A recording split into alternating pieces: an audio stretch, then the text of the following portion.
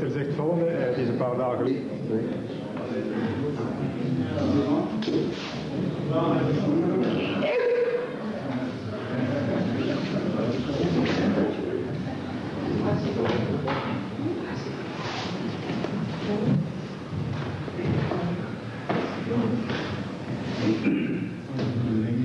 Dat draaien, hè? Dat mag, dat mag actie, actie, hè?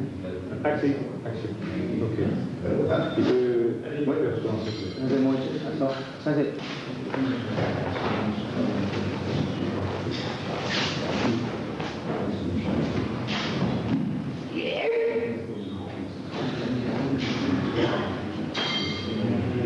Bakmayız değil mi?